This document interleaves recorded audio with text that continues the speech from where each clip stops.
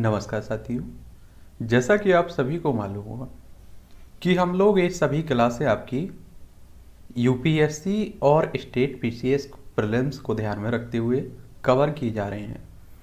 और अगर आप भी स्टेट पीसीएस या सिविल सर्विस की तैयारी शुरू कर रहे हैं या करने के बारे में सोच रहे हैं तो मुझे लगता है कि ये सभी क्लासें आप लोगों के लिए बहुत ही महत्वपूर्ण हो सकती हैं और आपका बेस मज़बूत बनाएगी। और इससे क्या रहेगा कि आप लोगों को प्रीलिम्स में भी बहुत आसानी होगी और मुख्य परीक्षा में भी आप लोगों को आसानी होगी, ठीक है? तो अभी तक आपने देखा होगा कि हम लोग मगध का उदय देख चुके थे और लास्ट क्लास में हम लोग प्राचीन भारत के मगध का उदय देख चुके थे, इसमें चैप्टर कवर कर चुके थे। आज हमें बात करनी है मौर्य साम्राज्य के बारे में और इससे पहले आप लोगों को एक और जानकारी दे देता हूँ। आपका यूपीएससी और स्टेट पीएससीएस प्रीलिम्स को ध्यान में रखते हुए जितनी भी आपकी क्लासें ली जाएँगी, चाहे वो किसी भी सब्जेक्ट की हो, वो आपकी एक प्लेलिस्ट सूची बनी हुई है। UPSC and state PCS prelims special classes के नाम से, इसी में आपको क्रम से डरी रहेगी। यहाँ जाकर आप लोग कवर कर सकते हैं, देख सकते हैं। ठीक है? तो मौर्य साम्राज्य का अगर आप लोग देखें, समय देखें तो इसका समय रहता है कब से?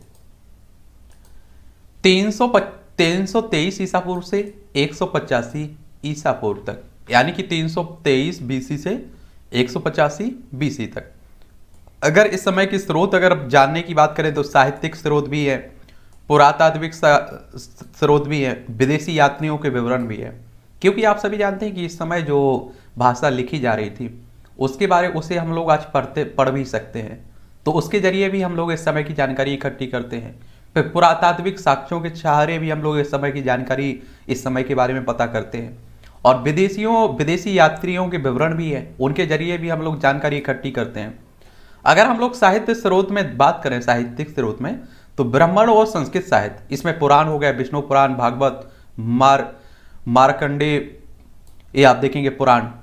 तो आप समझिए, पुराण से भी हम लोग मौर्य साम्राज्य के बारे में पता करते हैं, मालूम चलता है। अर्थशास्त्र से भी हमें मौर्य साम्राज्य के बारे में जानकारी मिलती है। क्षेमेंद्र के बेहद कथा मंजरी से भी हमें जानकारी मिलती है। विशाखा दत्त का मुद्रा रक्षक, सोमदेव का कथा सरित सागर, इनके लेखक और इनकी पुस्तकें ज़रूर याद रखिए, करिएगा। इनसे क्वेश्चंस पूछ लेता है। ये बौद्ध साहित्य बौद्ध ग्रंथ है, जैसे दीप वंश हो गया, महावंश हो गया दिव्यावदान हो गया अशोकावदान हो गया महापरि निब्बान श्रोत हो गया महाबौद्धि वंश हो गया मिलिंद पन्हो हो गया। ये आप देखिए, इनसे भी हम लोग मौर्य साम्राज्य के बारे में जानकारी मालूम करते हैं। जैन साहित्य में देखेंगे तो कल्प सूत हो गया, परिशिष्ट पर्वन हो गया, हरिभद्र टीका हो गया, आवश्यक सूत हो गया। इनसे भी हम लोग मौर्य साम्राज्य के बारे में मालूम करते हैं। और तमिल साहित्य में आपका अहनानूर हो गया, पूर्णानूर हो गया, ठीक है? और पुरातात्विक स्रोत में बात करें तो सबसे पहले आप सभी जानते हैं कि चंद चंद्रगुप्त के अभिलेखों से भी हम लोग चंद्रगुप्त के बारे में, मौर्य साम्राज्य के बारे में जानकारी प्राप्त करते हैं। इसमें आप देखेंगे शाह गौरा, गोरखपुर, उत्तर प्रदेश का महास्थान, बोगरा जिला बांग्लादेश में है। दोनों से अन्न भंडार का, भंडारण के संकेत भी मिले कि अन्न के भंडारण भी होते थे। फिर आप सभी जानते हैं कि अशोककालीन जो अभिलेख रहे, ये कभी कुछ जाना ही रहे हैं। तो इनके बारे में भी हम लोग अशोक के बारे में और आप सोचिए कि मौर्य साम्राज्य के बारे में हम लोग मालूम करते हैं। फिर रुद्र दामन का जूनागढ़ अभिलेख। 800 वर्षों का इतिहास। अशोक के प्रथम बेहद शिलालेख पाषाण खंड पर उत्कीर्ण। पश्चिमी पश्चिम क्षेत्र में सिंचाई का साक्ष्य। इसी से हम लोग मालूम करते हैं। ये आप देखेंगे लाइव पिलूटार्ड का भारत विवरण। एपिटोम। ए जस्टिन का भारत वर्णन एनावेसिस एरियन द्वारा सिकंदर के युद्ध का वर्णन इसमें आपको देखने को मिलेगा। जियोग्राफी स्ट्रेबो टॉलमी की है इनके भी नाम याद रखिएगा। ठीक है? फिर आप जब विदेशी यात्रियों के विवरण की बात करें तो सिकंदर के पूर्व, स्काईलैक्स, दारा, एक सेनापति, एकमात्र यही भारत आया था। हैकेटियस, कैसियस, ईरानी राजवैद था। भारत के बारे में इंडिका लिखी इसने। सिकंदर के समकालीन देखें तो न्यारकस, ए जलवेड़े का प्रमुख, मौर्य के, मौर्यों के परिधान का उल्लेख। अरेस्टी ब्यूलस अनसेकियट सेकिटस सिकंदर के पश्चात आप देखेंगे मैगस्थनीज डायनो, डायोनिसियस, डायमेकस हैंसांग आपको देखने को मिलेंगे। मौर्य साम्राज्य में अगर आप देखें तो ये मौर्य साम्राज्य है। आप देखिए कि यहाँ तक फैला हुआ था मौर्य साम्राज्य, यहाँ से लेकर यहाँ तक। और ऐसा माना जाता है कि देखिए जो अशोक सम्राट, अशोक था, इसने भारत के सबसे बड़े साम्राज्य पर एक तरह से आप सोचिए शासन किया, सबसे बड़े क्षेत्र पर। हमारे भारत का एक ऐसा राजा था। और अशोक के बाद देखें, अशोक के तो आप देखेंगे यहाँ तक मौर्य साम्राज्य रहेगा। आर्या, ठीक है? और आप देखेंगे पैरोपेन सीडाई अराकोसियाए ये आप देखेंगे हेलमंद। फिर आप देखेंगे ये आपका मेट्रासिका, ये आप देखेंगे आपका सहबाजगढ़ी, लक लदमान, मानमेहरा तक्षशिला ये आप देखेंगे, बितस्ता, अस, अस्किनी परुषना सतुदी, ये सिंध, ये नदियाँ हो गई। ये आप देखेंगे टोफरा, इंद्रप्रस्थ और कलमी। ठीक है? कलमी, इंद्रप्रस्थ, विराट। ये आप देखेंगे, यमुना, गंगा नदी, चंबल नदी हो गई है आपकी। एक कौसाम्बी हो गया, कपिल वस्तु, स्तरावस्ती, ये आप देखेंगे, निगलवा रुमेदई रामपुरबा रामपुरबा लौरिया, नंदड़गढ़, लोरिया, अराराज। यहीं पाटलिपुत्र आपको देखने को मिल जाएगा और बराबर देखने मिल जाएगा, सारनाथ देखने को मिल जाएगा, इलाहाबाद, कपिल वस्तु देख ही लिया। ये आप देखेंगे, रूपनाथ तामलिपि और ये आप देखेंगे आपका महानदी ये हो गई, ठीक है? रूपनाथ हो ही गया, उज्जैनी, सांची, विदिशा, सौराष्ट्र, गिरनार, ये सभी नदियाँ हो गई, इन्हें भी याद रखिएगा। सोफरा, ये आप देखेंगे तोमिली जोगढ़, कलिंगे। कलिंग का क्षेत्र किसना मास्की, न, तरंग भग, तुंगभद्रा, ये नदियाँ हैं। ये आप देखेंगे, गंभी मठ, ठीक है? और ये देखने को मिलेगा आपको। निस्तूर एरागुड़ी ब्रह्मागिरी ठीक है? और नीचे और आएँगे आप लोग तो चौल, चोल कावेग कावेरी ये नदी है, सन्नपुत, केरलपुत, पांड, ठीक है? ताम पर्णी ये सीलोन, ये अरब सागर हो गया, ये बंगाल हो गया, ठीक है? तो इन्हीं, इतना, इतने क्षेत्र में आप देखिए कि विस्तार रहा है मौर्य साम्राज्य का। आज आप देखते हैं कि भारत यहाँ तक है। समझ रहे लेकिन आप सोचिए कि इससे भी कहीं यहाँ तक फैला हुआ था। ये नेपाल नेपाल आप देख रहे हैं? ये बांग्लादेश बांग्लादेश सब हमारे अंडर में थे। चाइना का कुछ हिस्सा आप समझिए यहाँ तक। इतने बड़े क्षेत्र पर हमारा रहा था। आप सोचिए कि आज अखंड भारत जिसे आप लोग कहते हैं। अगर हमारे पास पूरा भारत होता तो इस तरह से हम लोग भारत के बारे में बात करते। अब जाति की बात करें तो देखिए मौर्यों की जाति को लेकर विवाद है। कई लोग इन्हें शूद्र भी कहते हैं, कई इन्हें क्षत्रिय कहते हैं। समझ रहे हैं? तो मौर्यों की जाति को लेकर साहित्यिक ग्रंथों व विद्वानों में मतभेद है। ब्राह्मण ग्रंथों में चंद्रगुप्त मौर्य को शुद्ध या निम्न कुल का उत्पन्न बताया गया है। और विष्णु पुराण और भागवत पुराण और मार्कंडे पुराण में भी उन्हें शुद्ध कहा गया है। विशाखा दत्त की मुद्रा रक्षक में भी मौद्रों को मौर्यों को निम्न कुल का बताया गया है, निम्न जाति का बताया गया है। मुद्रा रक्षक की टीकाकार डुंडी राज ने भी चंद्रगुप्त मौर्य को शुद्ध, सिद्ध किया है। सर्वार्थ सिद्ध नामक क्षत्रिय राजा की सुनंदा, छत्राणी और मुरा सुद्रा नामक पत्नियाँ थी, और जिससे चंद्रगुप्त मौर्य का उत्पन्न हुआ। कई लोग आप देखिए घरानंद की पत्नी भी मानते हैं शुद्ध किसे? मुरा को, और कहते हैं कि उसी से चंद्रगुप्त मौर्य का जन्म हुआ। तो फिर तो आपको मानना पड़ेगा कि इसने अपने बाप को हराया था। अगर ऐसा है तो। बौद्ध साहित्य में मौर्यों को क्षत्रिय कहा गया है। किसमें? बौद्ध साहित्य। मौर्यों को क्षत्रिय मानता है। मौर्यों को कपिल वस्तु के साक्यों साक्यों से संबंध मौर्य वंश का माना जाता है। और प्राक मौर्य काल से लेकर गुप्त काल तक के राजनीतिक गतिविधियों का आवास कराने वाले ग्रंथ आर्य मंजूश्री मूल कल्प में भी मौर्यों को क्षत्रियवत कहा गया है। हेमचंद्र कृत परिशिष्ट पर्वन में चंद्रगुप्त को मयूर पोषकों के ग्राम मुखिया की पुत्री का पुत्र बताया गया है और मध्यकालीन शिलालेखों में भी मौर्यों को सूरवंशी क्षत्रिय कहा गया है। अब आप इसलिए कह देते हैं, आप देखिए अपने अपने हिसाब से लगाते रहते हैं कि आप सोचिए कि अब लड़ा है, राजा होगा तो क्षत्रिय होगा उस समय, क्योंकि आप देखिए ऐसी मान्यता था कि क्षत्रिय ही राजा बन सकते हैं। और ब्राह्मण यही सोचते थे कि क्षत्रिय ही होगा, ये शुद्ध होगा। अब देखिए, अपनी अपनी थ्योरी है, आप लोग ज़रूर याद रखिएगा, इनके, किसने क्या कहा है। सबसे पहले आप देखेंगे, मौर्य साम्राज्य में चंद्रगुप्त मौर्य आता है। इसका समय काल रहता है 323 से दो सौ पंचानवे ईसा पूर्व तक। मौर्यों की जाति निर्धारण के समाज चंद्रगुप्त की तिथि का निर्धारण भी विवादास्पद में है। यूनानी विवरणों के अनुसार अगर हम लोग बात करें तो चंद्रगुप्त मौर्य का राज्यारोहण 323 से 321 ईसा पूर्व के मध्य हुआ। और रोमिला थापर ने चंद्रगुप्त के राज्यारोहण की तिथि 321 ईसा पूर्व को माना है। चंद्रगुप्त मौर्य ने नंदवंश का अंत कर मौर्य साम्राज्य की स्थापना की थी और जिसे अशोक ने चरमोत्कर्ष पर पहुँचा दिया, यानी कि ऊंचाई पर पहुँचा दिया। नंदों के अत्याचार के अत्याचार शासन से देश को मुक्त कर चंद्रगुप्त मौर्य ने यूनानियों के विदेशी शासन से देश को मुक्त कराया। और यूनानियों से भारत को मुक्त कराने का कारण चंद्रगुप्त को भारत का मुक्तिदाता भी कहते हैं। ये आपसे हो सकता है कि वनडे एग्ज़ाम की तैयारी अगर आप लोग कर रहे हैं तो पूछ ले आपसे कि भारत का मुक्तिदाता किस राजा को कहते थे, किस सम्राट को कहते थे? तो अशोक को। भारत छोड़ने से पूर्व सिंध विद्रोह को देखते हुए सिकंदर ने पश्चिमोत्तर भारत की प्रशासनिक व्यवस्था की को चार भागों में विभाजित किया था अम्भी पोरस, फिलिप, पेथोन। और फिलिप द्वितीय की हत्या होते ही पूरे क्षेत्र में अराजकता फैल गई और जिसका लाभ उठाकर चंद्रगुप्त ने पूरे क्षेत्र में राष्ट्रीय युद्ध छेड़ दिया और सिंध और पंजाब पर अधिकार कर लिया। और अपने द्वितीय द्वितीय चरण में कश्मीर के प्रवर्तक प्रवर्तक राज, नामक राजा की सहायता से धना घनानंद को पराजित कर मगध पर भी अधिकार कर लिया। मगध को भी अपने अंडर में ले लिया। किसने? चंद्रगुप्त मौर्य ने। फिर आप देखेंगे सेलुकस की, सिकंदर की मृत्यु के बाद बेबीलोन का शासक बनता है। उसने बैक्टीरिया बैक्टीरिया को जीतते हुए भारत पर 305 ईसा पूर्व में आक्रमण कर दिया, लेकिन चंद्रगुप्त मौर्य द्वारा पराजित हो जाता है।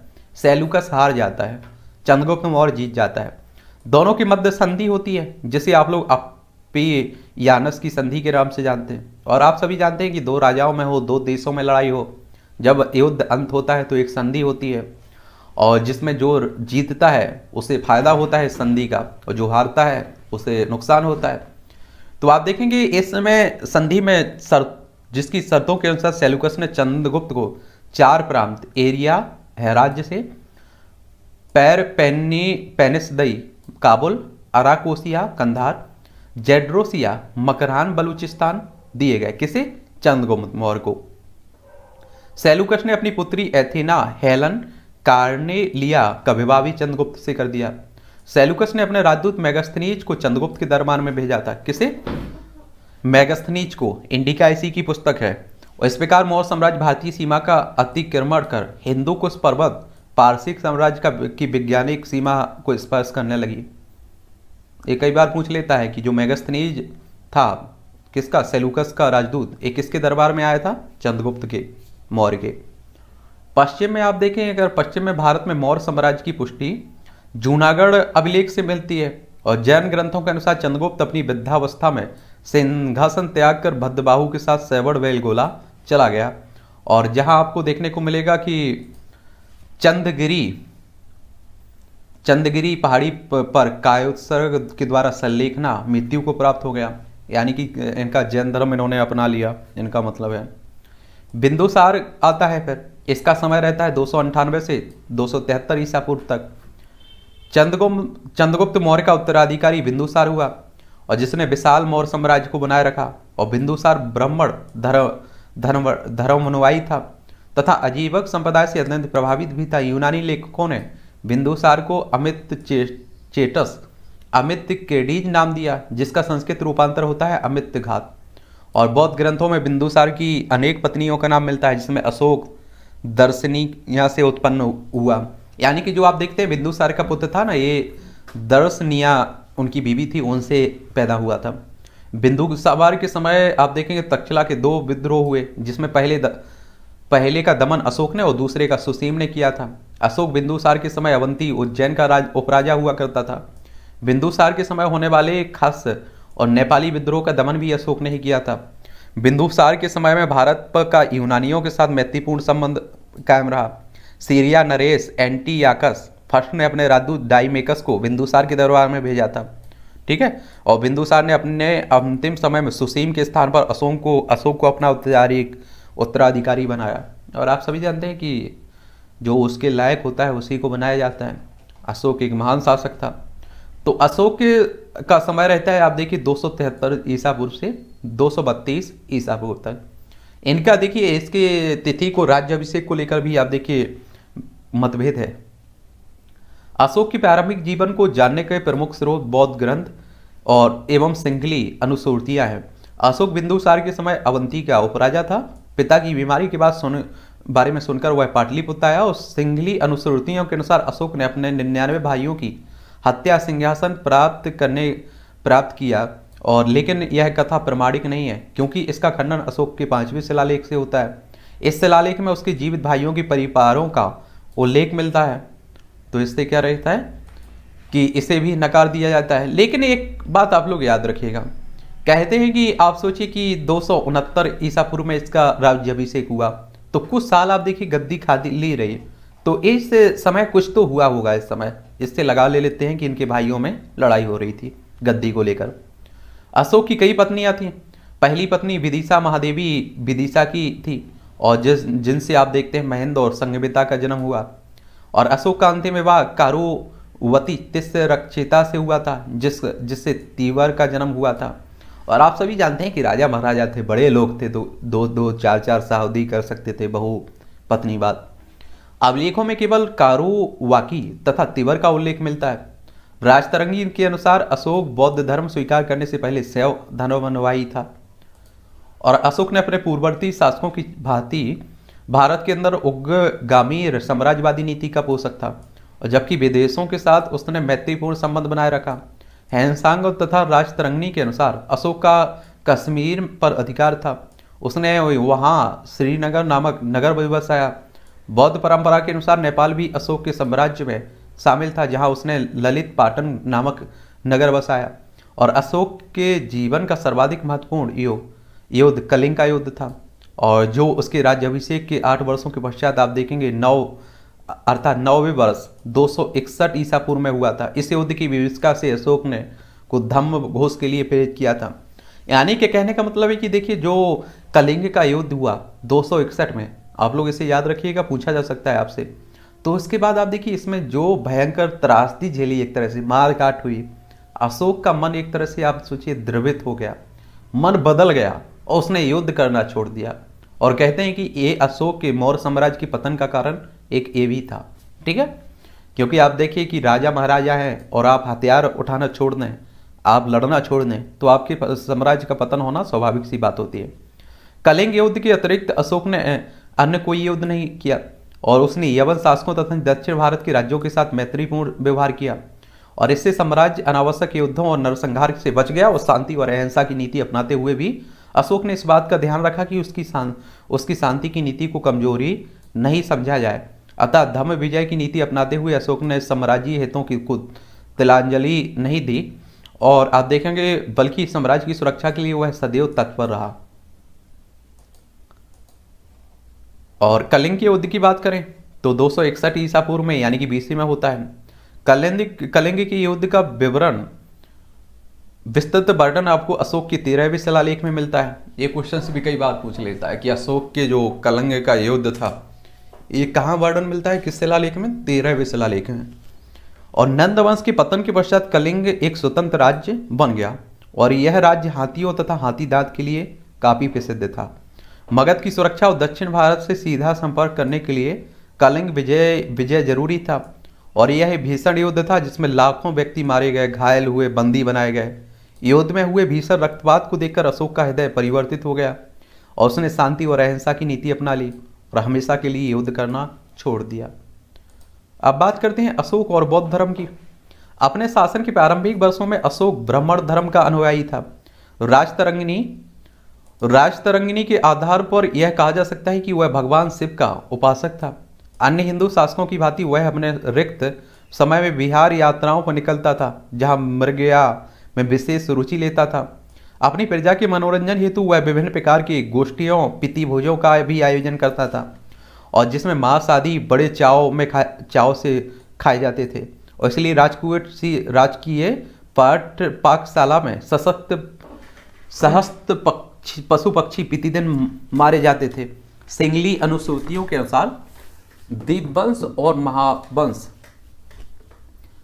दीपवंश और महावंश के अनुसार अशोक को उसके शासन के चौथे वर्ष, यानी कि निग्रोथ नामक सात वर्षीय भिक्षु ने बौद्ध मत में दीक्षित किया। और उसके बाद आप देखेंगे मोगली पुत्तिस के प्रभाव से वह पूर्ण रूपेण बुद्ध बन गया। दिव्यावदान अशोक को बौद्ध धर्म में दीक्षित करने का श्रेय उपगुप्त नामक बौद्ध भिक्षु को प्रदान करता है। यानी कि जो दिव्यावदान है ना, ये कहता है कि बौद्ध धर्म को बौद्ध धर्म को दीक्षित करने में, अशोक के बौद्ध धर्म को शिक्षित करने में किसका हाथ था? उपगुप्त उपगुप्त का। और अशोक के शिलालेख बौद्ध परंपराओं के विपरीत उसके बौद्ध होने का संबंध कलिंग युद्ध से जोड़ते हैं। अशोक अपने तेरहवें शिलालेख में, जिसमें कलिंग युद्ध की घटनाओं का वर्णन करता है, यह घोषणा करता है कि इसके बाद देवताओं का प्रिय धम्म ही सो उत्साह, सोत्साह परिरक्षा, सोत्साह अभिलाषा करता है। और संभव है कि उसका झुकाव कुछ पहले से ही इस धर्म की ओर रहा हो, और इस युद्ध के बाद उसने पूर्ण रूप से बुद्ध धर्म अपना लिया। अशोक आजीवन उपासक ही रहा, वह भिक्षु अथवा संघाध्यक्ष कभी नहीं बना। संघभेद रोकने का आदेश भी उसने राजा की हैसियत से दिया था। और इस समय बौद्ध संघ में कुछ ऐसे अवांछनीय तत्व प्रविष्ट हो गए थे, जिनसे संघ की व्यवस्था गड़बड़ हो रही थी। और संघ की कार्यवाही को सुचारू रूप से चलाने के लिए इन तत्वों का निष्कासन आवश्यक था। और विवश होकर संघ ने अशोक से सहायता की मांग की और उसने यह सहायता प्रदान भी की। और इस प्रकार की सहायता वह किसी भी अन्य संस्था को दे सकता था। और जो इस प्रकार बाहरी व्यक्तियों द्वारा आक्रांत होती थी। अशोक के धम्म की बात होती रहती है। तो अशोक विश्व का विश्व इतिहास में जितना अधिक एक चक्रवर्ती सम्राट के रूप में विख्यात नहीं है, उससे ज़्यादा वह इसलिए प्रसिद्ध है कि उसने मानव की नैतिक उन्नति के लिए, उन्नति के लिए जीवन पर्यंत प्रयास किया। सत्य, अहिंसा और जीव के जीव के कल्याण के लिए वह सदा प्रयत्नशील रहा। कलिंग युद्ध के पश्चात आप देखेंगे उसका सारा ध्यान मानव कल्याण की तरफ़ गया। इसके लिए उसने जिन सिद्धांतों का विकास और प्रचार किया, वे इतिहास में धम्म के नाम से जाने जाते हैं। आज के राजाओं का नहीं है, देखिए आप लोग ध्यान समाज कल्याण की ओर। आज के राजा तो अपना पेट भरना, अपने परिवार का पेट भरना जानते हैं। राजा कहने का मतलब है नेता। अशोक के धर्म को प्रभावित करने वाले तथ्य देखें। अशोक के धर्म को प्रभावित करने वाले अनेक कारण थे। यज्ञ आप देखें, अगर तो अशोक बौद्ध धर्म का अनुयायी था और बौद्ध धर्म उसका व्यक्तिगत धर्म था और तदापि जनसाधारण के लिए जिस धर्म का प्रचार करने के विचार उसने किया, वह बौद्ध धर्म से भिन्न था। अशोक जिस वातावरण में रहा, उसने उसे स्वतंत्र रूप से विचार करने की शक्ति दी। मौर्य साम्राज्य की स्थापना के साथ ही मौर्य शासकों का विदेशियों यूनानियों से घनिष्ठ संबंध कायम हुआ। यह प्रक्रिया चंद्रगुप्त मौर्य से लेकर अशोक तक आबाद गति से चलती रही। यानी कि किसी तरह की गिरावट नहीं आई इनके घनिष्ठ संबंधों में विदेशियों से, यूनानियों से खासकर। फलस्वरूप मौर्य शासकों की मानसिकता कट्टरपंथी और रूढ़ीवादी नहीं थी। चंद्रगुप्त, बिंदुसार, अशोक सभी धार्मिक मामलों में गहरी रुचि भी लेते थे, परंतु उनके अपने धार्मिक विश्वासों को जनता पर थोपने का प्रयास नहीं करते थे। औरंगज़ेब जैसे नहीं थे कि मुस्लिम धर्म आपको मानना ही पड़ेगा, ज़बरदस्ती मानना पड़ेगा।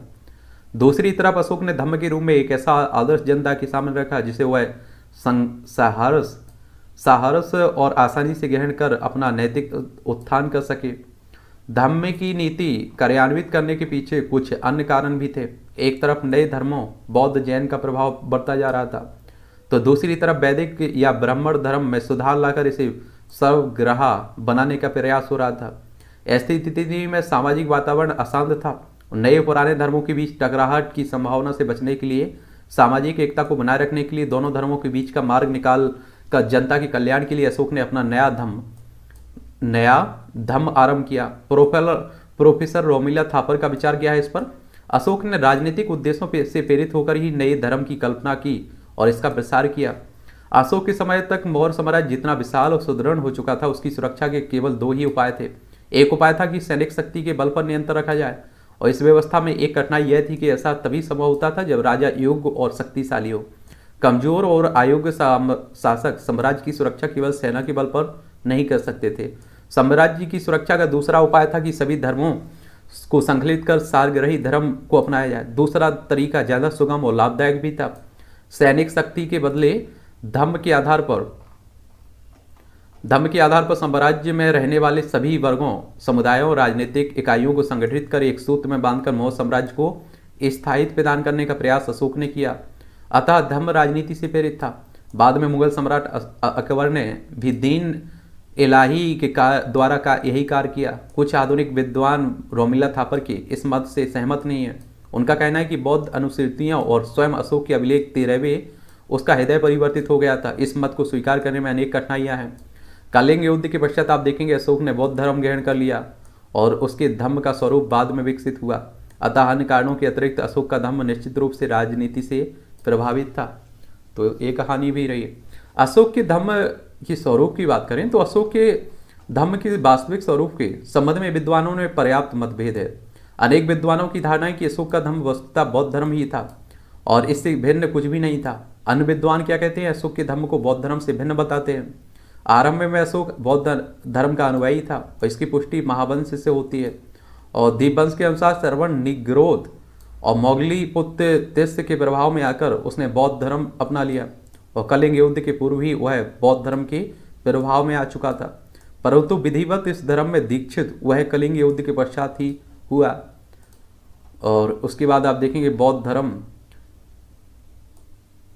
बौद्ध धर्म से प्रभावित हो, होते हुए भी अशोक ने जिस नए धर्म की कल्पना की वह बौद्ध धर्म से भिन्न था। इसके अतिरिक्त चार आर्य सत्य अष्टांगिक मार्ग या निर्वाण की कल्पना नहीं की गई। अशोक नए धर्म को मानने वालों के लिए भिक्षुक का जीवन व्यतीत करने या उनके लिए संघ की स्थापना की भी बात नहीं करता। अपने धर्म की व्याख्या अशोक स्वयं अपने अभिलेखों में करता है। अशोक का धर्म कोई नया धर्म नहीं धर्म नहीं था, बल्कि सभी धर्मों की अच्छी बातों को इसमें सन्निहित किया गया था। आप देखिए, एक तरह से आप सोचिए कि विभिन्न धर्म है हमारे देश में, और आप इनमें से अच्छाइयाँ निकाल के एक नया धर्म बनाते हैं। उसे ही धर्म कह दीजिए। अब आप सोचिए कि जैसे मान लीजिए हम लोगों ने, आप लोग कहते हैं कि संविधान हमारा उधार का थैला है कई लोग कहते रहते हैं। तो आपने देखा है कि हम लोगों ने कई देशों का संविधान पढ़ा और उसमें जो अच्छी बातें थी हमारे लिए, उन्हें हम लोगों ने उठा के अपने संविधान में शामिल कर लिया। ठीक है? तो इसी तरह अशोक ने भी किया। उस समय जितने भी धर्म थे, उनसे अच्छी बातें निकालकर एक नए धर्म की बात करी। यह वास्तव में नैतिक नियमों का संग्रह था और यह सर्वसाधारण के लिए मानव धर्म था। अशोक स्वयं बौद्ध धर्म को मानने वाला था परंतु उसके अभिलेखों में जिस धर्म का उल्लेख मिलता है और जिसका प्रचार उसने किया राजधर्म भी नहीं था। और जि, जिसे ज़बरदस्ती सब पर थोपने का प्रयास किया गया बल्कि यह कामना की गई कि उसके उत्तराधिकारी और प्रजा सभी स्वेच्छा से इसका पालन करेंगे।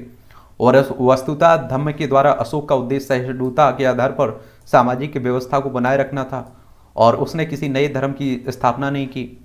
अशोक के धर्म के दो पहलू थे। एक तो व्यवहारिक और एक सिद्धांतिक। एक व्यवहारिक और एक सिद्धांतिक।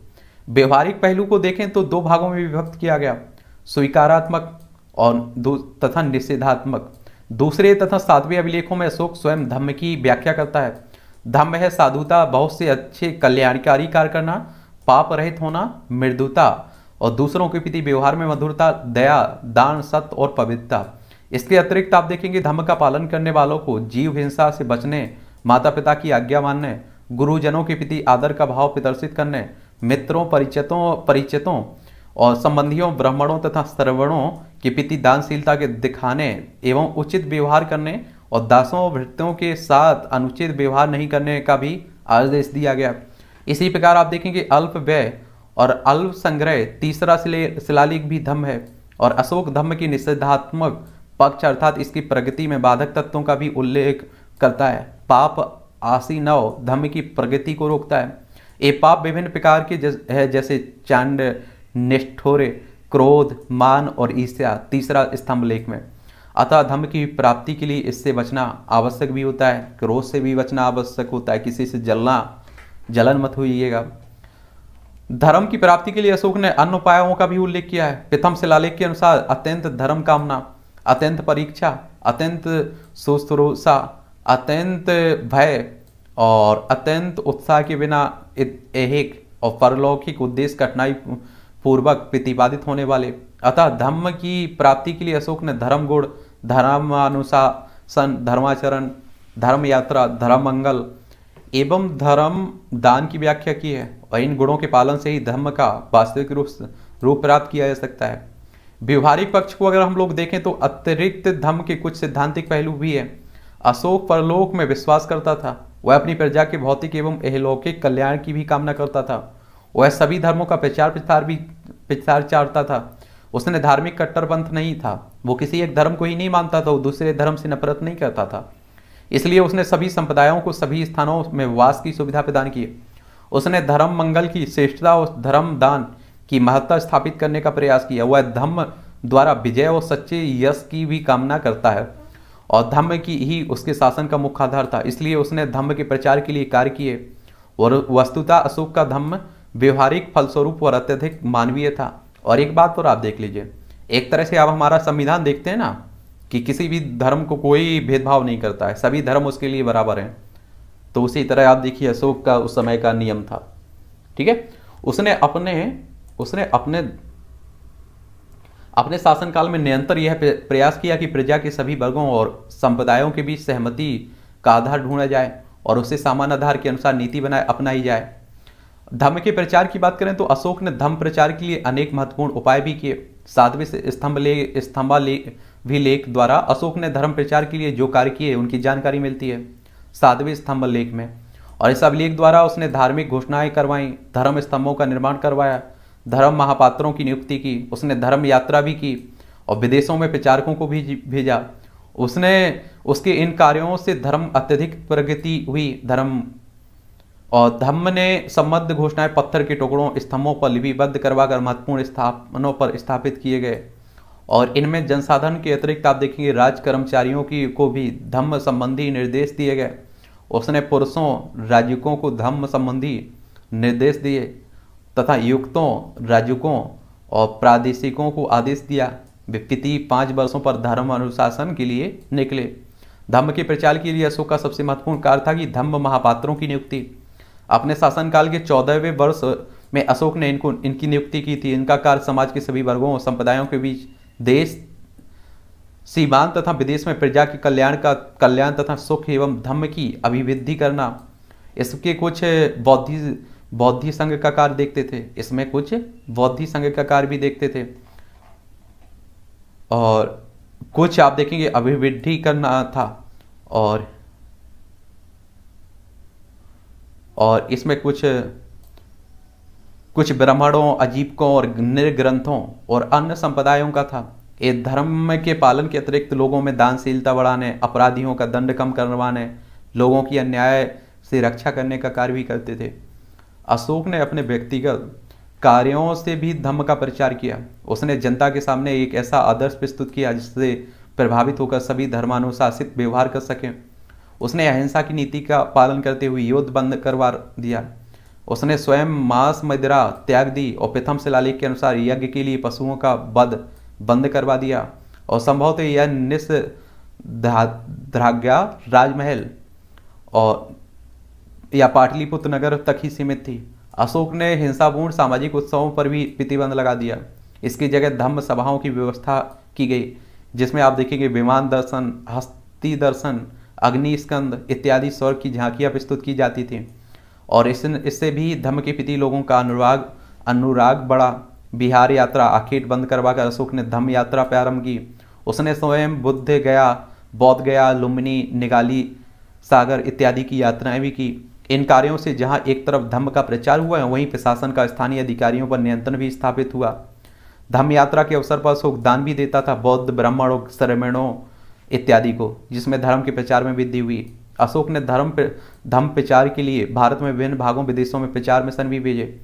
चोल, पांडव, सत सत्यपुत्र केरलपुत्र कश्मीर, गंधार, महेश मंडल आपरांतक महाराष्ट्र वनवासी के अतिरिक्त प्राचार मिशन के पश्चिम यवन शासकों, सीरिया, मिस्र, मकदूनिया, साइरिन, एपीरस के पास खोतान, मध्य सिंगल द्वीप, श्रीलंका सुबैट भूमि, सुमात्रा भी भेजे गए।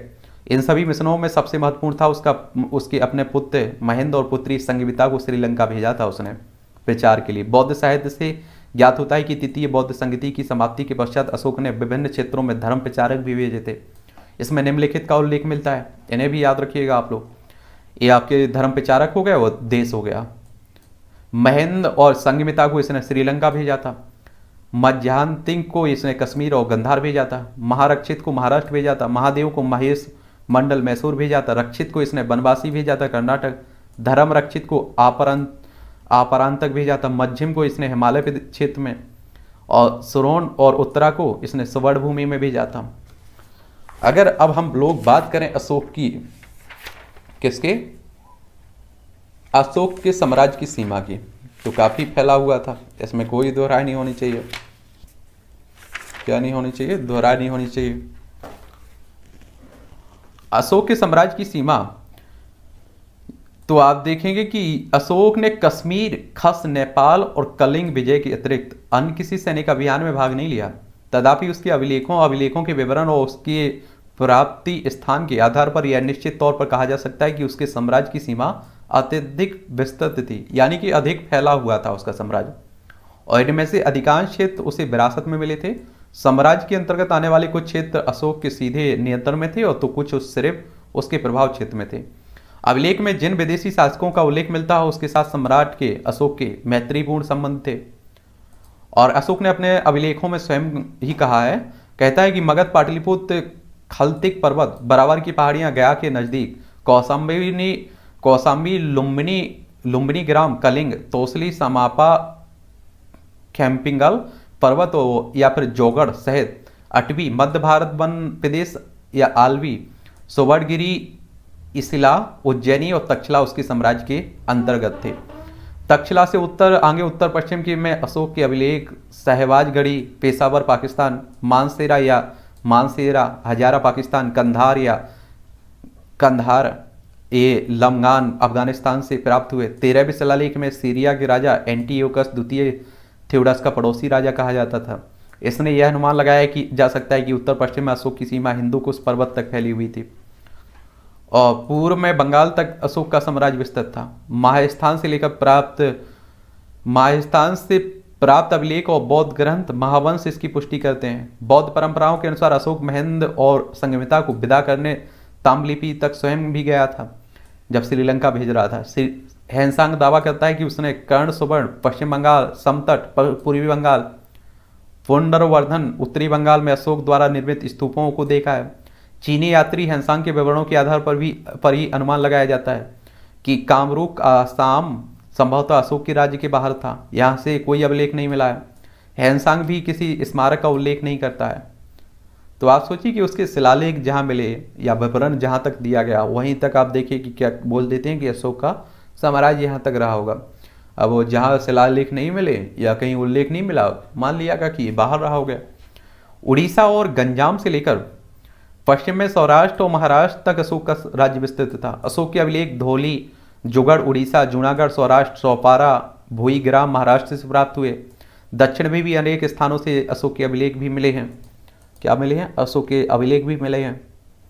और ये स्थान है एरागुड़ी राजुल, मंद, मंदगिरी, आंध्र प्रदेश में ब्रह्मागिरी, सिद्धपुर मस्की, जटिंग, रामेश्वर, कर्नाटक में सुदूर दक्षिण के राज्य चोल, चेर पांडा और केरल के राज्यों का भी उल्लेख, सीमावर्ती राज्यों के रूप में अभिलेखों में हुआ है। और इसके, इससे अंदाज लगाता है कि राज्य अशोक की सीमा के बाहर थे ये सभी राज्य। और अशोक के अभिलेखों से स्पष्ट हो जाता है कि शुद्ध दक्षिण और आसाम के अतिरिक्त समस्त भारत पर अशोक का ही अधिकार था।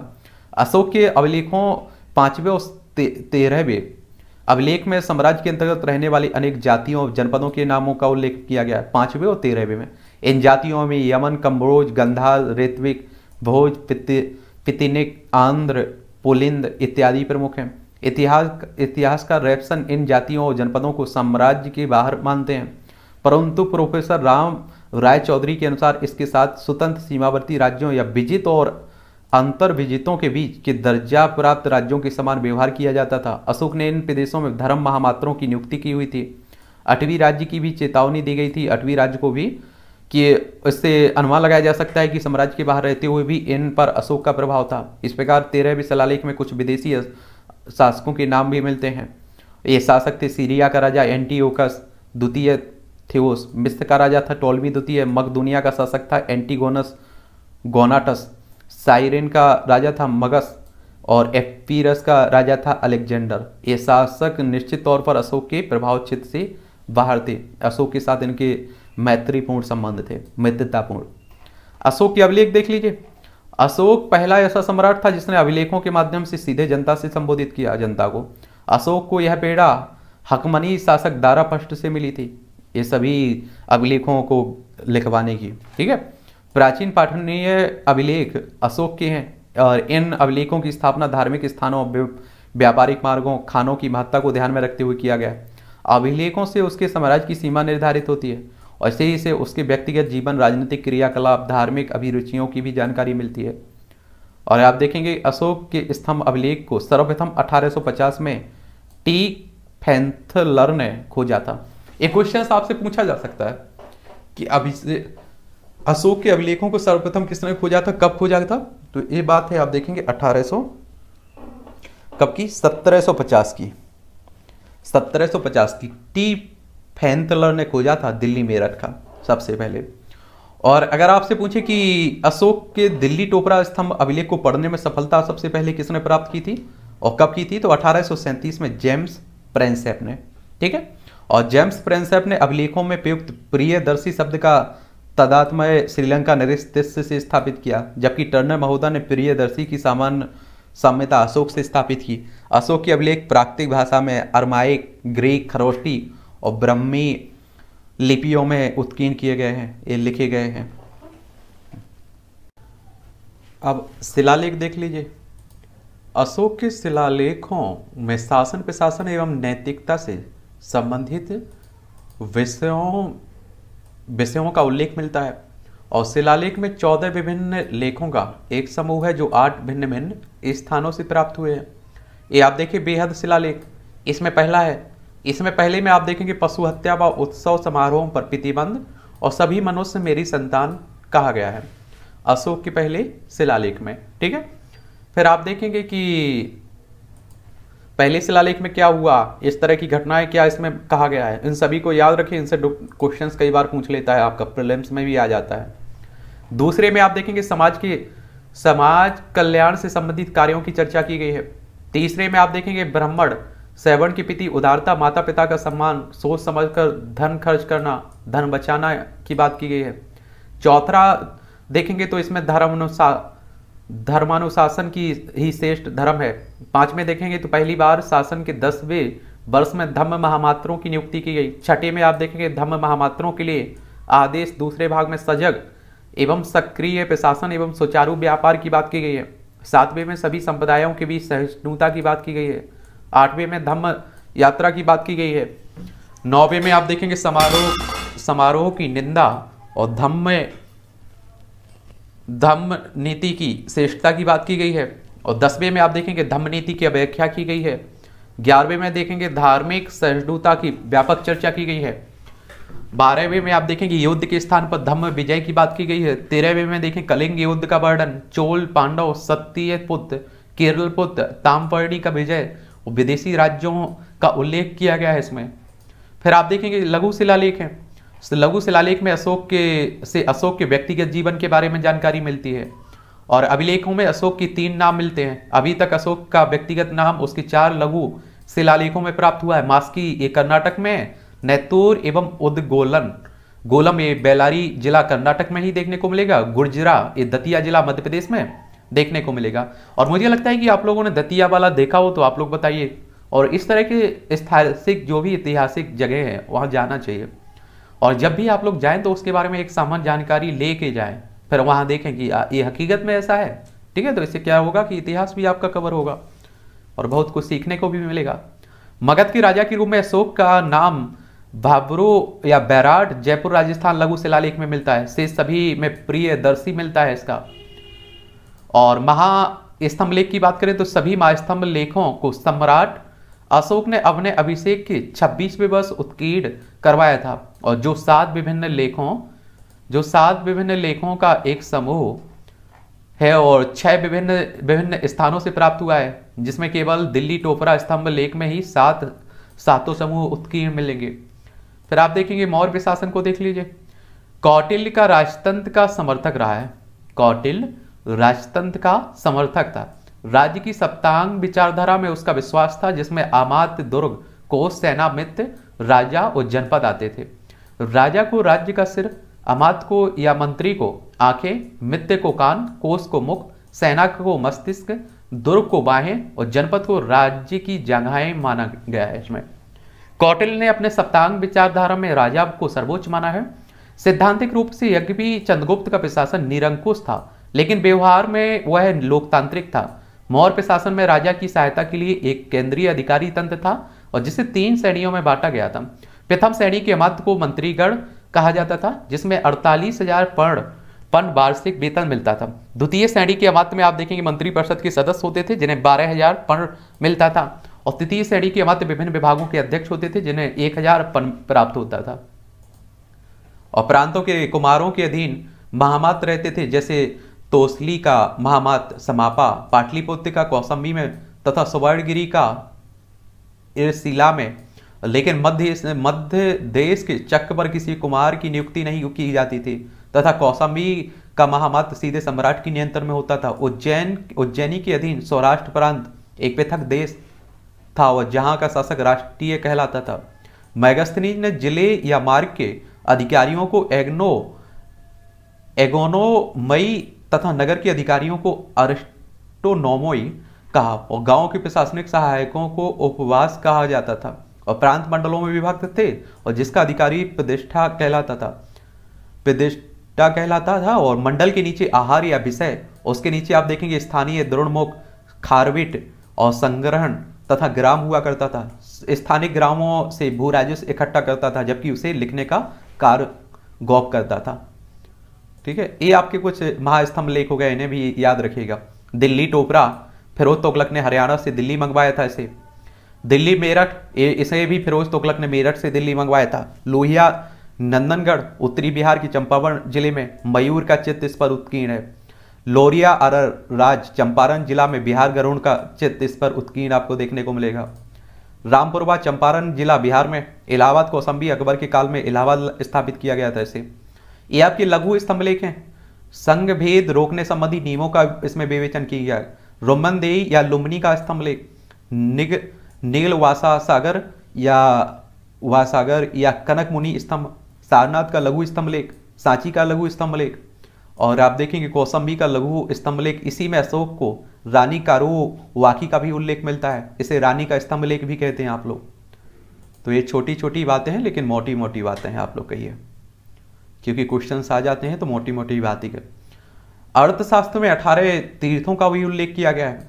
इसमें आप देखेंगे प्रधानमंत्री और पुरोहित के बारे में बात की गई है। पुरोहित प्रमुख धर्माधिकारी होते थे। चंद्रगुप्त मौर्य के समय में दोनों विभाग कौटिल्य के अधीन थे और बिंदुसार के समय विष्णुगुप्त कुछ समय तक उनका प्रधानमंत्री रहा।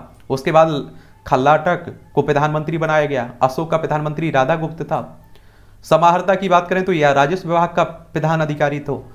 अधिकारी था। ये पूछ लेता है कि समाहर्ता का काम क्या था? राजस्व विभाग का प्रधान अधिकारी हुआ करता था। सन्निधाता की बात करें तो ये राजकोषीय कोषाध्यक्ष होता था। सेनापति युद्ध विभाग का मंत्री था। युवराज राजा का उत्तराधिकारी होता था।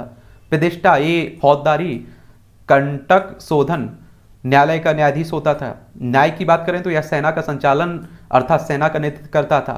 व्यवहारिक यह दीवानी धर्म स्थीय न्यायालय का मुख्य न्यायाधीश होता था। मंत्री परिषद की मंत्री पर परिषाध्यक्ष की बात करें तो यह मंत्री परिषद का अध्यक्ष होता था, नागरक, यह नगर का प्रमुख अधिकारी होता था, प्रशासता, ये राजकीय कागजात को सुरक्षित रखने वाला और राजकीय आज्ञाओं को लिपिबद्ध करने वाला प्रधान अधिकारी होता था। अगर अध्यक्ष की बात करें हम लोग तो अर्थशास्त्र के अध्यक्ष के अध्यक्ष प्रकार अध्याय में 26 अध्यक्षों का उल्लेख मिलता है। कितना? 26 और ये विभिन्न विभागों के अध्यक्ष होते थे और मंत्रियों के निरीक्षण में काम करते थे। संभवतः इन अध्यक्षों को ही मैगस्थनीज ने मजिस्ट्रेट कहा और इनके नाम इस तरह से है। जैसे आप देखिए पन्या अध्यक्ष या वाणिज्य विभाग का अध्यक्ष होता था। फिर आप देखेंगे, सीता अध्यक्ष या राजकोष कृषि, राजकीय कृषि विभाग का अध्यक्ष होता था। अकराध्यक्ष एक खान विभाग का अध्यक्ष होता था। शुल्काध्यक्ष एक व्यापार पर कर वसूल करने वाला अध्यक्ष होता था। लक्षणाध्यक्ष एक छापे खाने का अध्यक्ष या राज्य में मुद्रा जारी करने का प्रमुख अधिकारी होता था। हर टकसाल सवर्णिक नामक अधिकारी के अधीन होते थे। मुद्रा अध्यक्ष ये पासपोर्ट विभाग का अध्यक्ष होता था। नवाध्यक्ष, ये जहाज़ रानी विभाग का अध्यक्ष होता था। पतन अध्यक्ष बंदरगाहों का अध्यक्ष होता था। संस्थाध्यक्ष, व्यापारिक मार्गों का अध्यक्ष होता था। और पोत अध्यक्ष ये मापतौल का अध्यक्ष होता था। स्वर्ण अध्यक्ष ये सोना का, सोने का अध्यक्ष होता था।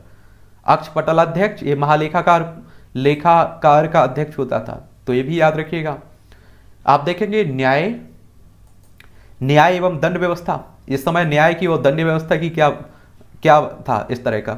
यद्यपि न्यायालय व्यवस्था का भी विधान राजा ही होता था और राज्य की तरफ़ से अनेक न्यायालय भी स्थापित किए गए थे। सबसे नीचे अगर आप लोग देखें तो सबसे नीचे आपको देखने को मिल जाएगा ग्राम न्यायालय हुआ करते थे। छोटे छो, छोटे मोटे जो झगड़े होते थे ना इन्हें निचले स्तर पर ही निपटाने और अपराधियों को दंडित करने की व्यवस्था होती थी। जैसे आजकल आप लोग देखते हैं, ग्यारह न्यायालय या फिर आप देखिए जिला न्यायालय, इस तरह के न्यायालय देखते हैं ना कि छोटे मामलों के लिए यही निपटा दिया जाए। फिर सुप्रीम कोर्ट आप सभी ऊपर देखते हैं, वहाँ बड़े बड़े मामलों की सुनवाई होती है। तो इसी तरह से आप इन्हें देख सकते हैं। ग्राम न्यायालयों के ऊपर संग्रहण, द्रोणमुख, स्थानीय और जनपद न्यायालय थे और सबसे ऊपर केंद्रीय न्यायालय था। यह दो प्रकार का होता था, धर्म स्तरीय स्थीय और कंटक शोधन। धर्म स्त्री स्थीय न्यायालय दीवानी मामलों की सुनवाई करते थे और कंटक शोधन फौजदारी मामलों की। परंतु दोनों न्यायालयों के स्वरूप की विभाजक रेखा बहुत ही पतली थी। अपराधियों को कड़ी सजाएँ दी जाती थी। जुर्माने के अतिरिक्त अंग भंग मृत्युदंड की भी व्यवस्था की गई थी। और अपराधियों से अपराध स्वीकार करवाने या उन्हें दोषी निर्दोष प्रमाणित करने के लिए विभिन्न उपाय काम में लाए जाते थे। तो फांसी की सजा इस समय भी थी। आप समझ रहे हैं? कर कर प्रणाली टैक्स सिस्टम कैसा था इस समय, मौर्यों के समय। राज्य के उद्देश्य को पूरा करने और प्रशासन एवं सेना का खर्च जुटाने के लिए मौर्य शासकों ने विस्तृत राजस्व प्रणाली की व्यवस्था की थी। आज भी तो आप देखिए, आपकी सरकार कहाँ से चलती है? कोई नेता थोड़ी गड्ढे खोद के पैसे कमाता है। आप सभी जानते हैं कि आपसे कर लिया जाता है। आप में से कई लोग ये भी कहते रहते हैं कि मैं तो टैक्स नहीं देता हूँ। तो याद रखिएगा, आप अगर गरीब से गरीब और बड़े से बड़े आदमी, सब कोई टैक्स देता है। इनडायरेक्ट टैक्स तो देते हो ना आप लोग। आप लोग कभी बिस्किट खरीदने जाते होगे, शक्कर, गुड़, साबुन, ये तो सब खरीदते होगे। माचिस का, खरीदते हो, उस पर आप देखिएगा, आप लोग इनडायरेक्ट टैक्स देते हैं, ठीक है? और वस्तुतः समस्त मौर्य प्रशासन का संगठन इसी उद्देश्य से किया गया था। और राज्य प्रत्येक संभव उपाय से उचित और अनुचित, अधिक से अधिक धन संग्रह कर सके। अर्थशास्त्र में विभिन्न स्रोतों का उल्लेख किया गया है, जिसमें राज्य को राजस्व की प्राप्ति होती थी। इसमें अगर देखें तो आप देखेंगे इसमें अनुसार राज्य को मुख्यतः दुर्ग, राष्ट्र, खनी सेतु, वन, ब्रज और वर्डिक पथ से आय प्राप्त होती थी, टैक्स प्राप्त होता था, पैसा प्राप्त होता था। दुर्ग से अनेक प्रकार के कर उगाए जाते थे, जैसे चुंगी, जुर्माना, जेलखाना, शराब, वस्त्र उद्योग वैस्या कारीगर, अचल संपत्ति पर कर लगाए जाते थे। राष्ट्र के अंतर्गत जनपद से होने वाली आय को रखा जाता था। और इसके अंतर्गत भूमि, कर को आप देखेंगे एक छठवा भाग, बंदरगाहों, सड़कों, चाराहों चारागाहों इत्यादि से आमदनी होती थी। खनिज पदार्थों एवं उनके कारखानों से प्राप्त होने वाली आय खनी के अंतर्गत आती थी। बगीचों से प्राप्त होने वाली आय को सेतु कहा जाता था। और वन से भी विभिन्न प्रकार की आमदनियाँ आमदनियाँ होती थी। और आप देखेंगे ब्रज के अंतर्गत मवेशियों से आय प्राप्त होती थी। वणिक पथ वणिक पथ स्थल एवं जलमार्ग से भी राज्य को विभिन्न प्रकार की आय प्राप्त होती थी। प्रत्येक विभाग से उगाहे जाने वाली करों की मात्रा निश्चित रहती थी। और परंतु विपत्ति के समय राज्य ने बढ़ा भी सकता था। तटकर बिक्री कर से भी राज्य को आय होती थी। धन की कमी पूरा करने के लिए अनेक अनुचित साधनों का भी अर्थशास्त्र में प्रावधान किया गया था। राज्य को जुर्माने, निजी उद्योग धंधों से भी धन प्राप्त होता था।